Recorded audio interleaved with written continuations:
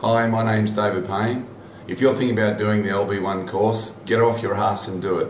What I gained from the LB1 course is that as a team, you can do a lot more than just by an individual. So get out there and lead that team.